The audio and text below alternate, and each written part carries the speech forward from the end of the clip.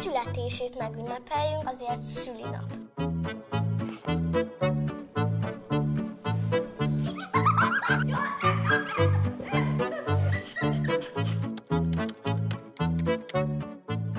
Feliratba ki lenne rakva, hogy Happy Birthday. Lufék, chips, csoki, ször, trambulin, üdítő, csúzzák, jó sok ajándék, kutya, kígyó, és a tesóm, a barátaim, és boldogság.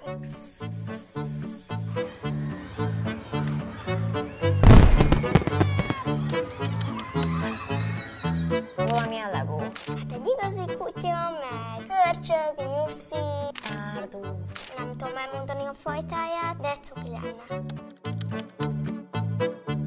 Az, hogy elmegyünk játszóházba, meg kirándulunk, bújócska, fogócska, fogócska, bújócska, Egy szabaduló szobában vagyunk. szoborjáték, vagy ilyen, hogy itt táncolunk így, aztán, hogyha megáll a zene, meg kell állni így. Megkérném anyukámat, hogy vegyen konfettit, és próbáljuk meg feldobni a szülinapomat.